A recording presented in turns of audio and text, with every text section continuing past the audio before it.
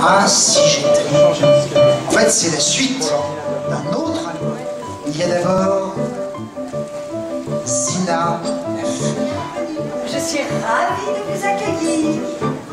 Mais auprès de Zina la fée, il y a Meki, la princesse des lutins. Kirikiki, me voici. Bonjour, je suis Meki. Bonjour Meki.